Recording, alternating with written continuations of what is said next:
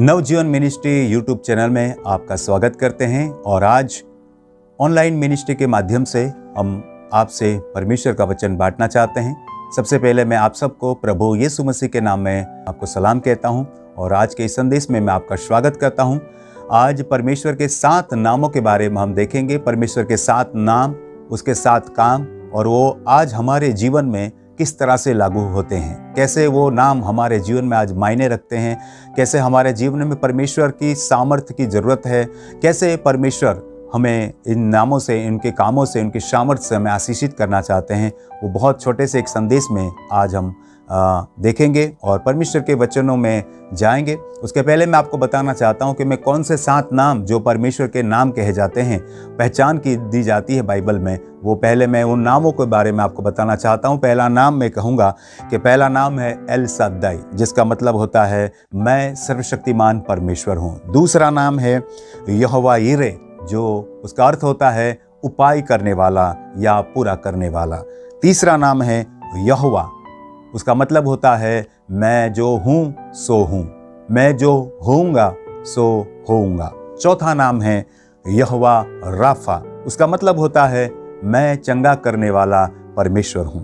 पांचवा नाम है, यहवा निसी यहवा मेरी सहायता या यहवा मेरी विजय। इस तरह से इसका हम अनुवाद कर सकते हैं।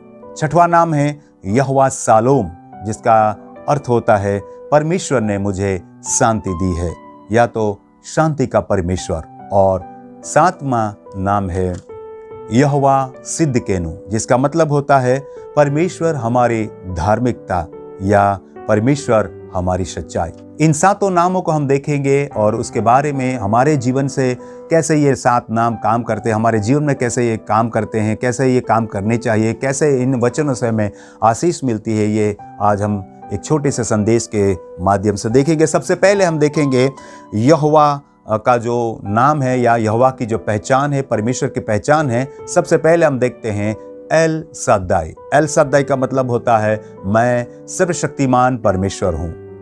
एल सद्दाई का मतलब होता है, मैं सर्वशक्तिमान परमेश्वर हूँ। हम जानते हैं बाइबल में अब्राहम को विश्वासों का पिता कहा गया है। क्यों कहा गया है? क्योंकि वो किस तरह से जीवन जिया, किस तरह से उसने विश्वास किया और आज हमारे लिए अब्राहम के जीवन को जानना आज के दौर में बहुत ज़रूरी है, क्योंकि आज का माहौल भी इतना विचलित हो गया, इतना बुरा हो गया है कि परमेश्वर पर विश्वास करना बहुत लोगों के लिए मुश्किल हो सा हो गया है। लेकिन अब्राहम के जीवन के बारे में यदि हम देखते हैं, समझते हैं तो हमें यह बात बहुत अच्छी लगती है कि कैसी परिस्थिति में अब्राहम ने परमेश्वर विश्वास किया। बाइबल में हम देखेंगे उत्पत्ति, उसका बारवा अध्याय उत्पत्ति बारवा अध्याय और वचन पढ़ेंगे हम एक से सात। वहाँ पर पहले हम देखेंगे परमेश्वर ने सबसे पहले अब्राहम को दर्शन दिया और क्या कहा और किस परिस्थिति में अब्राहम को कहा गया, वो देखते हैं। सबसे पहले हम देखेंगे उत्पत्ति बारह अध्याय एक से आठ वचनों को देखेंगे। यहोवा ने अब्राहम से कहा, अपने देश और अपने कुटुंबियों और अपने पिता के घर को छोड़कर उस देश में चला जा, जो मैं तुझे दिखाऊँगा। और मैं तुझसे एक बड़ी जाति बनाऊँगा और तुझे आशीष दूँगा और तेरा नाम महान करूँगा और तू आशीष का मूल होगा, जो तुझे आशीर्वाद दे, उन्हें मैं आशीष दूँगा और जो तुझे कोसे, उसे मैं साप दूँगा और भूमंडल के सारे कुल तेरे द्वारा आशीष पाएँगे। यहवा के इस वचन के अनुसार अब्राहम चला और लूत भी उसके संग चला और जब अब्राहम हारान देश से निकला उस समय वह पचहत्तर वर्ष का था। जब परमेश्वर अब्राहम को दर्शन देता है, प्यारे दोस्तों, तब अब्राहम के पास कोई उद्देश्य नहीं था, क्योंकि वो पचहत्तर साल का हो चुका था और अब तक उसकी कोई संतान नहीं थी। उसके पास बहुत सारे भेड़ बकरियाँ थी, बहुत सब कुछ था दास दासियाँ थी, बहुत कुछ था। लेकिन अफसोस की बात थी कि उसके पास जीवन की कोई मंजिल नहीं थी। आज हमारे जीवन में भी यही है पैसे है काम रोज़गार है बहुत सारी चीज़ें हमारे जीवन में है। लेकिन अफसोस की बात है कि लोगों के जीवन में मंजिल नहीं है लोगों के जीवन में उद्देश्य नहीं है। आज बहुत से लोग जन्म तो लेते हैं संसार में मनुष्य के रूप में लेकिन जीवन बहुत बदतर जीते हैं कोई उद्देश्य नहीं है। अब्राहम के पहले दर्श, दर्शन में हम देखते कि अब्राहम के पास कोई उद्देश्य नहीं। हाँ पचहत्तर साल का हो चुका था कोई संतान नहीं थी अब आगे बढ़ने का कोई मकसद नहीं था। वो जहाँ था अपने परिवार के साथ बस उधर ही उसको मरना था। इसी तरह से लोग आते हैं, जीवन जीते हैं, इस संसार में जीना, इसी संसार में मरना, इसी उद्देश्य से लोग जीते हैं, और कोई उद्देश्य नहीं है।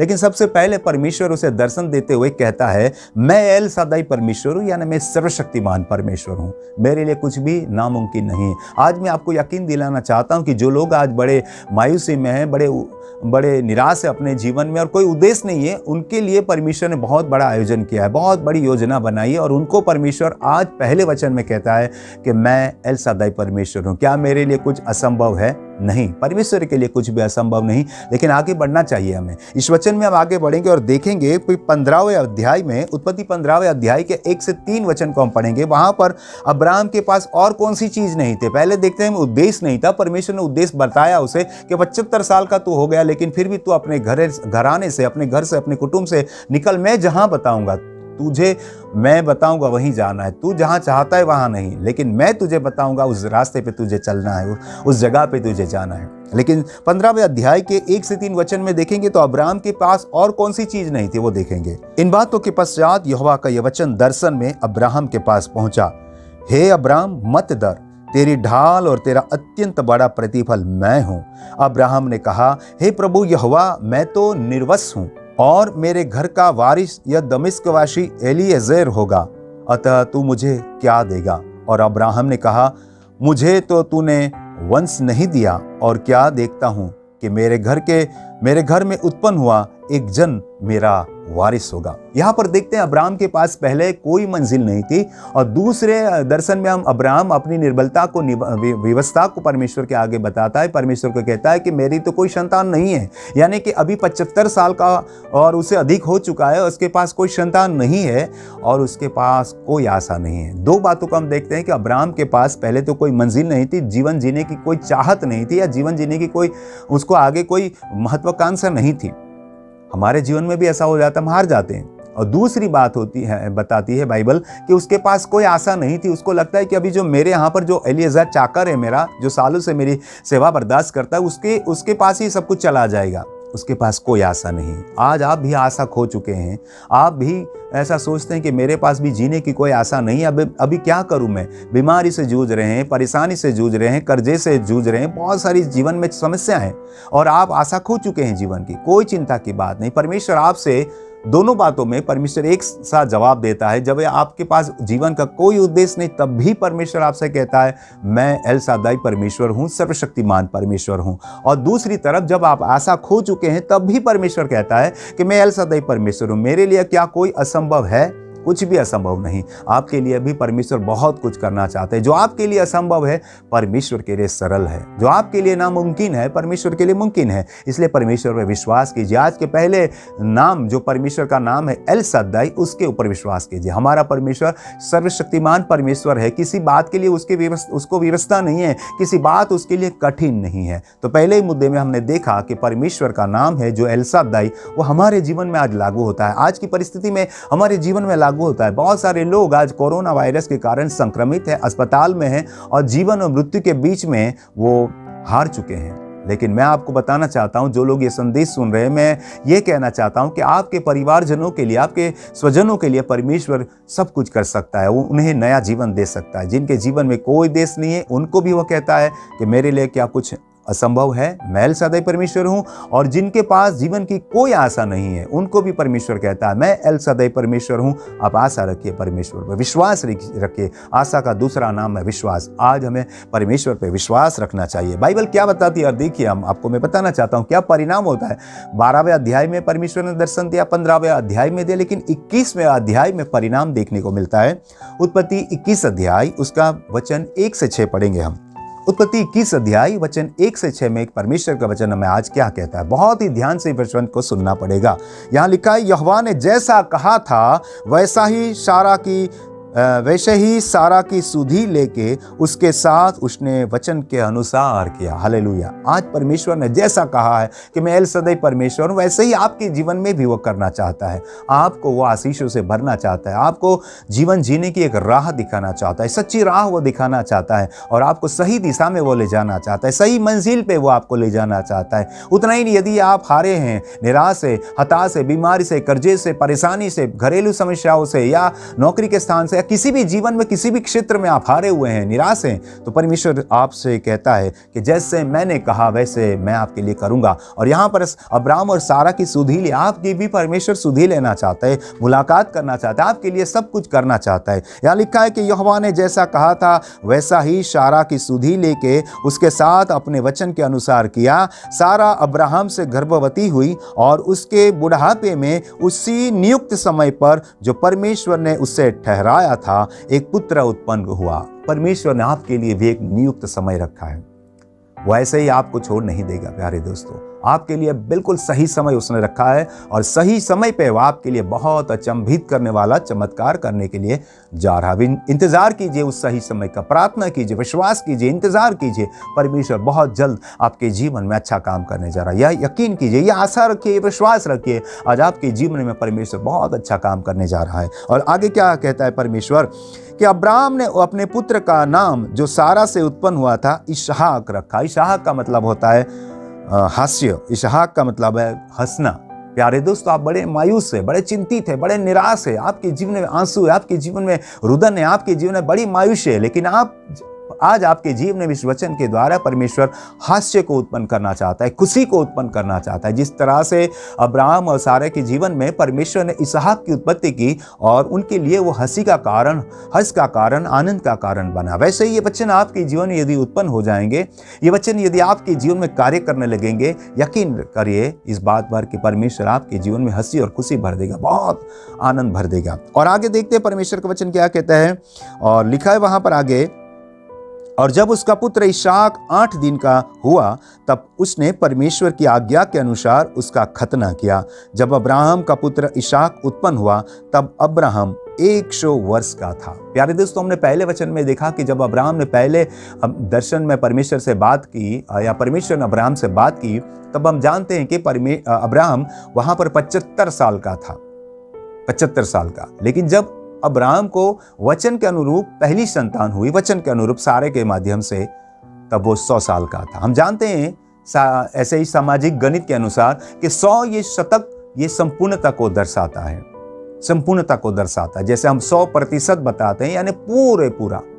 हंड्रेड परसेंट ऐसा हम बोलते हैं। जैसे अब्राहम सौ साल का हुआ परमेश्वर ने उसके जीवन में परिपूर्ति की उसके जीवन में उसको परिपूर्ण किया उसके जीवन में उद्देश्य लाया। परमेश्वर ने कहा था मैं तेरे तेरे वंश में आ, बहुत तेरा वंश बढ़ाऊँगा। तारे के यदि तू गिन सकता है तो गिन ले उससे भी अधिक मैं तेरे वंश को बढ़ाऊँगा। मतलब उसके जीवन में एक उद्देश्य परमेश्वर ने डाल दिया।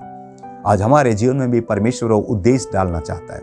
हमारे जीवन में हमारे जीवन को परमेश्वर अर्थपूर्ण बनाना चाहता है। हमारे जीवन को आशा से भर देना चाहता है विश्वास से भर देना चाहता है। अब्राहम जब सौ वर्ष का हुआ तभी उसको वचन के अनुसार संतान हुई। आपके जीवन में परमेश्वर शत प्रतिशत हंड्रेड परसेंट आपके जीवन में सफलता लाना चाहता है। आपके जीवन में वो हँसी खुशी लाना चाहता है। आपके जीवन में बहुत बहुत आशीष और बरकत लाना चाहता है। पचहत्तर साल से सौ साल के दौरान परमेश्वर ने उसे बहुत बहुत आ, उसका घड़तर किया। उसके जीवन में बहुत उतार चढ़ाव आए लेकिन विश्वास में बना रहा। आज आपके जीवन में समय जा रहा है। आपको लगता है परमेश्वर मेरे जीवन में कुछ नहीं कर रहा। परमेश्वर करेगा। अब्राहम ने 25 साल इंतज़ार किया, लेकिन उसके जीवन में 100 प्रतिशत उसे आशीषित किया गया। पच्चीसवें अध्याय में हम जानते हैं, बाइबल में लिखा है कि उसने और एक पत्नी रखी। देखिए आप, सौ साल के बाद, और वहाँ पर भी उसको छह संतान बेटे होते हैं। अब्राहम के कुल संतान आठ है। प्यारे दोस्तों, मैं आपको बताना चाहता हूँ कि जहाँ एक संतान नहीं होने होना था, अब्राहम और सारे बिल्कुल बूढ़े हो चुके थे। वहाँ पर वो आठ संतानों के संतान का पिता बनने का सौभाग्य प्राप्त करना चाह करता है। यही आपके जीवन में परमेश्वर करना चाहता है जहाँ कोई आशा नहीं ना, अनेकों अनेक आशीषों से परमेश्वर आपको भरना चाहता है। अभी हम दूसरा नाम देखेंगे परमेश्वर का, जो नाम आज आपके लिए बहुत ही ज़रूरी है। आज के माहौल में, आज के समय में, आज के आधुनिक युग में और खास करके आज हम लॉकडाउन के समय में परमेश्वर आपको बहुत बहुत आशीष करना चाहता है। और ये वचन जो दूसरा नाम है परमेश्वर का, वो आपके लिए बहुत बहुत मायने रखता है। सभी नाम आपके लिए में बहुत, आपके जीवन में बहुत मायने रखता है। देखेंगे हम परमेश्वर क्या वचन में कहता है। दूसरा जो नाम है यह वाइरे उसका मतलब होता है उपाय करने वाला या पूर्ति करने वाला। आज आपके जीवन में जो कमियाँ हैं, जो आपके जीवन में ज़रूरत है, जो आपके जीवन में बहुत ज़्यादा आवश्यकता है, वो आपके पास नहीं है। इसलिए आप बड़े मायूस हैं, बड़े चिंतित हैं, जीवन में हार गए जीवन में थक गए कितनी मेहनत के बाद भी आपको कुछ नहीं हासिल हुआ। खाली है जीवन आपका। लेकिन ये दूसरा जो नाम है, आपके जीवन में आज बहुत मायने रखता है, बहुत ही महत्वपूर्ण है। हमें विश्वास के साथ ये वचनों में आगे बढ़ना चाहिए। वचन में लिखा है, उत्पत्ति बाईस अध्याय और चौदह वचन हम देखेंगे। उत्पत्ति बाईस अध्याय चौदह वचन में हम परमेश्वर का वचन इस तरह से पढ़ते हैं कि अब्राहम ने उस स्थान का नाम यहवा ईरे रखा। उसके अनुसार आज तक भी कहा जाता है कि यहवा के पहाड़ पर उपाय किया जाए। आज तक कहा जाता है। आज आपके लिए भी ये नाम बहुत महत्वपूर्ण है। हम जानते ही परिस्थिति क्या थी आपको शायद पता ही होगा, ना पता हो तो मैं बताना चाहता हूँ कि परमेश्वर ने सौ साल के आयु में इसहाक जो सारे के द्वारा वचन का पुत्र दिया हम जानते हैं कि परमेश्वर ने अब्राहम को बहुत अच्छी संतान दी। परमेश्वर ने अब्राहम के विश्वास की परीक्षा की। आज आपके जीवन में शायद उसी दौर से आप गुजर रहे हैं। परमेश्वर विभिन्न रीति से आपके विश्वास में आपके परीक्षा ले रहा है। आपको लगता है, क्यों मेरे साथ ऐसा हो रहा है? क्यों मेरे साथ ऐसा हो रहा है? मैं तो बड़ा विश्वासी व्यक्ति हूँ। मैं अच्छी प्रार्थना करने वाला व्यक्ति हूँ। मैं उपवास करने वाला व्यक्ति हूँ। मैं बाइबल पढ़ने वाला व्यक्ति हूँ। मैं अच्छे चर्च में जाने वाला व्यक्ति हूँ। मैं, मेरी पत्नी, मेरे बच्चे, हम लोग अच्छे से परमेश्वर का भय मानते हैं। क्यों हमारे जीवन में ऐसी ऐसी समस्या आती? क्यों ऐसे हमारे जीवन में तकलीफें आती हैं? ये हम सोचते हैं। हम इंसान हैं। यह हमारे जीवन में होता है अक्सर कि जब अच्छा जीवन जीते हैं विश्वासु जीवन जीते हैं, प्रार्थनावादी जीवन जी, बहुत संकट आ जाते हैं। हमें पता नहीं चलता कि परमेश्वर हमारे जीवन में क्या और अच्छा करना चाहता है। हमें हमें ऐसा लगता है परमेश्वर हमसे ये परीक्षा क्यों लेता है? जब अब्राहम को कहा कि तो तेरा जो इकलौता वचन का पुत्र है इशाक उसे मैं कहूँ, वह पहाड़ पर लेके जा, वहाँ उसकी बलिदान कर दे। ये सुनकर किसी भी पिता का दिल टूट जाएगा। लेकिन आप ध्यान दीजिए कि क्या परमेश्वर ने अब्राहम की परीक्षा ऐसे कैसे ले ली? इतना कठिन परीक्षा इतने सौ साल की आयु में उसे संतान प्राप्ति हुई और वो भी परमेश्वर ने उससे मांग ली। हाँ ये बहुत हमें साधारण रीति से सोचने पर बड़ा मुश्किल लगता है। लेकिन आध्यात्मिक तरीके से सोचेंगे तो बहुत अच्छा लगता है। देखिए आप बाइबल पढ़ेंगे तो आपको अच्छा लगेगा। परमेश्वर ने अब्राहम से परीक्षा। लेकिन अब्राहम उस परीक्षा में पास हुआ। क्यों पता है? क्योंकि जैसे जैसे अब्राहम को परमेश्वर ने कहा, वैसे ही अब्राहम ने किया। अपनी इच्छा के अनुसार उसने कुछ नहीं किया। उसने, परमेश्वर ने उससे संतान की बलिदान बलि मांगी, तब भी वो राज़ी हो गया। ऐसा नहीं था कि, अरे, ये कैसे होगा? ये तो नामुमकिन है। इतने सालों के बाद आपने मेरे से, मुझे संतान दिए वो भी आप मांग रहे लेकिन अब्राहम ने कभी नकारात्मक विचार नहीं किए। हमारे व्यक्तिगत जीवन में यही होता है कि जब हम अच्छे सा जीवन जीते हैं और कुछ अचानक सा ऐसी घटना घट जाती है तो हम बड़े मायूस हो जाते हैं, बड़े कमज़ोर कमज़ोर हो जाते हैं, बड़े निराश हो जाते हैं और बड़ी नकारात्मकता हमारे जीवन में हावी हो जाती है। लेकिन अब्राम के जीवन में ऐसे नकारात्मकता हावी नहीं हुई। अब्राम इस बात से राज़ी हो गया, कोई बात नहीं, परमेश्वर तूने दिया है ना, तेरे लिए देना, मेरे लिए कोई बड़ी बात नहीं, चलिए कोई बात नहीं। लेकिन देखते हैं वहाँ पर क्या होता है, अब्राहम उस इसहाक को लकड़ी पे, जहाँ सींची रहती है, वहाँ पर उसको सुलाता है और अपना हाथ में छुरा लेकर उसे बलिद करने जाता है। वहाँ पर परमेश्वर उसे रोकता है और परमेश्वर उसे रोक कर कहता है कि नहीं अबराम। और अबराम देखता है तो झाड़ियों में एक भेड़ फंसी हुई थी। और वहाँ पर परमेश्वर ने इसहाक की जगह पे उस, उसके लिए एक उपाय किया था। उसके लिए एक पूर्ति की थी कि इसहाक के बदले में परमेश्वर ने वहाँ पर एक मेमना रखा। प्यारे दोस्तों, आपके लिए भी परमेश्वर उपाय करेगा। आपको लगता है बड़ा कठिन है, जीवन में बहुत सारी मुश्किलें हैं। क्या करें, कैसे जिए? लेकिन ईश्वर ऐसा काम करेगा जो शायद आपने सोचा भी नहीं है। आपके लिए परमेश्वर आज उपाय करना चाहता है। जैसे अब्राहम के लिए अपने बेटे की बलि करने के वक्त परमेश्वर ने उपाय किया और अब्राहम के विश्वास में उसे परिपूर्ण तो हुआ लेकिन बच, उसका बेटा भी बच गया। वैसे आपके जीवन में परमेश्वर आपको परिपूर्ण करना चाहता है बहुत कुछ आशीष देना चाहता है और आपके लिए उपाय करना चाहता है। आपकी जो कमियाँ हैं आप में जो आपको जो ज़रूरत है वो परमेश्वर आज पूरा करना चाहता है। और इसलिए आज के वचन में ये बहुत ज़रूरी है हमारे लिए कि परमेश्वर हमारे लिए यहवा इरे आज बनना चाहता है। आप शायद आर्थिक रीति से परेशान हैं कर्ज में डूबे हैं बीमार है समस्या में है बड़ी चिंताएँ आपको अपने बच्चों की अभ्यास विकास की चिंता है, अपने बच्चों की जीवन की आवश्यकताओं की पूर्ति नहीं कर पा रहे हैं। आप अपनी पत्नी माता पिता या अपने परिवार की या अपने खुद की आवश्यकताओं को नहीं पूरा कर पा रहे हैं। आपकी इतनी आमदनी नहीं कि आप सब कुछ पूरा कर पाएँ। लेकिन परमेश्वर आपके लिए द्वार खोलना चाहता है। परमेश्वर आपके लिए वो सब कुछ देना चाहता है, जिसकी आपको आवश्यकता है। लेकिन विश्वास कीजिए, विश्वास में परमेश्वर आपकी परीक्षा लेगा अवश्य, लेकिन उस परीक्षा में आप उत्तीर्ण होना है, उस परीक्षा में आप सफल होना है, और अवश्य परमेश्वर यह वही आपके जीवन में भी बनेगा, और आपके जीवन की सारी आवश्यकताओं को वो पूरा करेगा। हम देखते हैं, और तीसरा नाम परमेश्वर का क्या नाम है? वो बहुत अच्छा नाम है, आपको देखना चाहिए, समझना चाहिए। निर्गमन की पुस्तक तीसरा अध्याय चौदह वचन में ये लिखा है। निर्गमन तीसरा अध्याय और चौदह वचन परमेश्वर का वचन मूसा से कहता है। अब्राहम की बातें हमने अभी यहाँ पर खत्म की। अभी हम तीसरे नाम में चल रहे हैं, यहोवा, वो नाम है। और उसका मतलब क्या होता है मैं वचन से बताना चाहता हूँ। यहोवा का मतलब है, मैं जो हूँ, सो हूँ। मैं जो हूँ, सो हूँ। I am that I am या तो उसका दूसरा मतलब हम कर सकते हैं, मैं जो होऊँगा सो होऊँगा। जो आज तो मैं हूँ लेकिन कल भी मैं वही रहूँगा। मैं बदलने वाला नहीं हूँ। यहवा का दूसरा मतलब होता है, सनातन परमेश्वर कभी न बदलने वाला परमेश्वर। आज हमें उस परमेश्वर की बहुत ज़रूरत है। लेकिन पहले वचन पढ़ते हैं। क्या लिखा है? निर्गमन की पुस्तक, उसका तीसरा अध्याय और और वचन चौदह क्या कहता है? पढ़ेंगे हम। यहाँ पर क्या लिखा है? परमेश्वर ने मूसा से कहा, मैं जो हूँ, सो हूँ। फिर उसने कहा तू इसराइलियों से ये कहना जिसका नाम मैं हूँ है उसी ने मुझे तुम्हारे पास भेजा है। परमेश्वर ने खुद अपना नाम बयान किया। वो इसलिए इब्रानी में इसलिए कहा कि मेरी कोई पहचान कितनी भी बना लो आप नहीं कर पर, कर पाओगे। मेरा वर्णन आप नहीं कर पाओगे। परमेश्वर को हम वर्णित नहीं कर सकते। वो तो अवर्णनीय परमेश्वर है।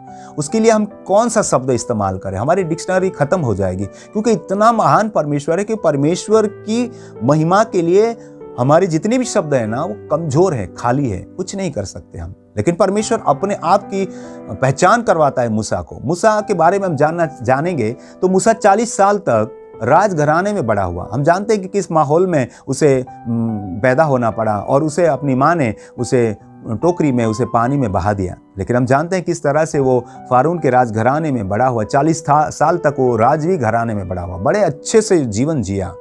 सब कुछ उसके जीवन में था।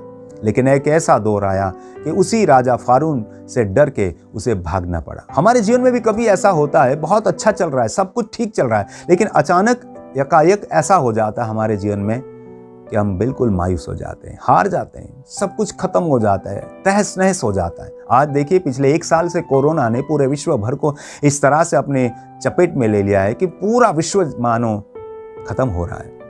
अचानक ऐसी घटनाएँ घट रही है ऐसी अचानक दुर्घटनाएँ हो रही है कि हम तहस नहस हो जाते हैं। हमारे कितने प्यारे स्वजन, कितने हमारे दोस्त, कितने हमारे पड़ोसी आज कोरोना के कारण इस दुनिया में नहीं है। हमारे अच्छे मित्र, हमारे अच्छे दोस्त, हमारे अच्छे प्यारे लोग, परिवार के सदस्य, निकट के सदस्य आज हमारे साथ नहीं है। एक ऐसी दुर्घटना, एक ऐसी घटना हमारे जीवन में घट जाती कि जिसकी हमने कल्पना भी नहीं की। मूसा ने कभी कल्पना भी नहीं की होगी कि उसे उसी राजघराने से जहाँ पर वो बड़ा हुआ अच्छा से जीवन जिया, राजवी जीवन जिया, उसी घराने से डर के उसे भागना पड़ेगा। कभी सोचा नहीं होगा। आप भी कभी नहीं सोचा ऐसे आपके जीवन में हो गया है तो सुनिए वचन। आपको वचन सुनना होगा। आपके जीवन में भी ऐसी ही घटना घट रही है जो आपने सोची नहीं है। लेकिन आज परमेश्वर आपसे कहता है, यहवा, यानी मैं जो हूँ, सो हूँ। मैं कभी नहीं बदलूँगा। आपकी परिस्थिति बदल सकती है, आपका जीवन बदल सकता है, आपकी सोच बदल सकती है, आपकी परिस्थिति बदल सकती है। आपके जीवन में बहुत कुछ बदल सकता है, लेकिन हमें जो परमेश्वर मिला है, वो कभी न बदलने वाला परमेश्वर है। इसीलिए उसका नाम यहवा है। सनातन है, वो युगान युग, एक सा है वो कभी नहीं बदलेगा। और आज देखिए, कितने राजा आए, कितने पंडित आए, कितने अपने आप को भगवान कहने वाले आए आए और चले गए, खत्म हो गए। वो थे और आज नहीं है। लेकिन आज हमें उस परमेश्वर की आवश्यकता है, जो कभी नहीं बदलता। वैसे परमेश्वर की हमें ज़रूरत है। जो बार बार बदलता रहता है, जो बार बार अवतार लेता रहता है तो बार बार अपने आप को प्रेजेंट करता रहता है बार बार अपने रूप को बदलता है। वैसे परमेश्वर की हमें कोई ज़रूरत नहीं जो खुद बदलता है, जो खुद अपने आप में नहीं है, वो परमेश्वर, हमारा परमेश्वर नहीं है। हमारा परमेश्वर वो है जो युगान युग एक सा है, अल्फ़ा और ओमेगा है, आदि और अंत है, जो कभी ना बदलने वाला, वो हमारा परमेश्वर है। वही सर्वशक्तिमान परमेश्वर है और वही परमेश्वर हमारा है। धन्यवाद हो। यहाँ पर परमेश्वर का वचन मूसा से कहता है कि मैं जो हूँ, सो हूँ। मूसा वो परमेश्वर ने झाड़ी में दर्शन दिया पहाड़ पे। लेकिन आप देखिए, वो राजघराने में बड़ा हुआ, लेकिन अभी क्या कर रहा था? पहाड़ी पे भेड़ बकरियों को चरा रहा था। कहाँ? वो राजमहल में बड़ा हुआ, पैदा तो वो इसराइली लोगों में हुआ, लेकिन बड़ा वो, उसका लालन पालन बड़े घराने में हुआ, राजवी घराने में हुआ, लेकिन अभी का जीवन देखिए, चालीस साल के बाद का जीवन देखिए, सोचा नहीं था, वो काम कर रहा है, भेड़ बकरियों चरा रहा है, जो सबसे घिनौना काम है, सबसे छोटा काम है, सबसे सबसे सबसे मतलब निम्न कक्षा का काम है, भेड़ बकरी चराना। एक गवाला बन गया, कहाँ एक राजा होने की हैसियत थी उसकी, कहाँ वो राजकुमार होने की हैसियत थी, और कहाँ आज वो भेड़ बकरी चला पहाड़ पहाड़ चल जा रहा है, यहाँ वहाँ जा रहा है, झाड़ियों में घूम रहा है, एक गवेले, गवाई गवाले की तरह, वो इधर उधर घूम रहा है, भेड़ बकरी चरा, उसके जीवन ने कभी नहीं सोचा। वो तो शायद बड़े सपने लेके चल रहा होगा कि मैं तो राजघराने में बड़ा हुआ, मैं तो राजा बनूँगा, मैं तो ये करूँगा, मैं तो वो करूँगा, लेकिन आज उसकी सोच के अनुरूप कुछ भी नहीं हो रहा। आपके जीवन में भी आपने सोचा बहुत कुछ है अच्छे अच्छे सपने आपने देखे अच्छे अच्छे आयोजन आपने किया, लेकिन सब जगह पे आप निष्फल हो रहे हैं, फेल हो गए, कुछ नहीं हो रहा आपका, सब कुछ खत्म हो रहा है। लेकिन आज भी वो परमेश्वर आपसे बात करता है, जो है यहोवा परमेश्वर, जो सनातन है, जो कभी न बदलने वाला, वो परमेश्वर आपसे कहता है, मैं यहोवा हूँ, मेरे पे विश्वास रखो। और हम जानते हैं कि अब जब मूसा से पहले दर्शन में परमेश्वर ने भेंट की, उसके बाद उसे वो उत्तेजन मिला, वो प्रसन्न मिला, वो अभिषेक मिला, वो सामर्थ्य मिली कि वो सबसे बड़ी प्रजा, इज़राइल प्रजा का अगुआ बना, बहुत बड़ा। और वो इज़राइल प्रजा को वो कनान देश में ले जाने के लिए माध्यम बना। आज हमें परमेश्वर के वचन को बड़ी ध्यान से सुनना है। वो परमेश्वर हमें मिला है, प्यारे दोस्तों, जो कभी न बदलने वाला। आज आप मायूस है। आप, आज बड़े चिंतित हैं, लेकिन जो मायूस है, टूटे हुए हैं, उसी को परमेश्वर अगुआ बनाने के लिए चाहता है। आपको आगे ले जाना चाहता है। आपके पीछे पीछे आपका परिवार, आपके मित्र लोग, आपके सगे लोग, आपके प्यारे लोग आपके पीछे आएँगे। आप एक लीडर बन सकते हैं। आप आगे बढ़ सकते हैं। आप आगे जीवन में बहुत आगे बढ़ सकते हैं। परमेश्वर, वो परमेश्वर हमें मिला है। धन्यवाद हो प्रभु का। इब्रानियों को पत्री तेरवा अध्याय और आठवें वचन में परमेश्वर का वचन हमें कहता है, यीशु मसीह कल और आज और युगान युग एक सा है। प्यारे दोस्तों, आज का वचन मेरे लिए तो बहुत आशीष का कारण बन रहा है। आपके लिए भी यकीन ये आशीष का कारण बनेगा। ध्यान से सुनिए इस वचन को कि परमेश्वर कौन सा परमेश्वर हमें मिला है? कौन सा प्रभु हमें मिला है? कौन सा मसीहा हमें मिला है? कौन सा मसीहा हमें मिला है? जो यीशु मसीह के बारे में वचन कहता कि यीशु मसीह कल और आज और युगान युग, एक सा परमेश्वर, वो कभी नहीं बदलेगा। यीशु मसीह भी संसार में मनुष्य का रूप लेकर आए, जिए साढ़े तैतीस साल और कलवर के क्रूस पर मेरे और आपके पापों को लेकर बलिदान हो गए, गाड़े गए। लेकिन हम जानते हैं कि परमेश्वर मृतकों में से जिलाए गए। प्यारे दोस्तों परमेश्वर कभी नहीं बदलता। यीशु मसीह संसार में आए तब संसार के हिसाब से उसने जीवन जिया, मनुष्य के रूप में उसने जीवन जिया, लेकिन वो परमेश्वर का पुत्र था। वो परमेश्वर के समान है, परमेश्वर है वो। पिता, पुत्र, पवित्र आत्मा का एक रूप है। प्यारे दोस्तों, वो कभी नहीं बदलने वाला परमेश्वर वो परमेश्वर आज मेरे और आपके साथ है। ज़िंदा खुदा, यीशु मसीह मेरे और आपके साथ है। हमें मायूस नहीं। हाँ हमारी परिस्थिति आज बहुत कमज़ोर हो गई है। आज हम बड़े मायूस हो चुके हैं। हमारे जीवन में बहुत कुछ हमने खो दिया है। कुछ नहीं हमारे पास।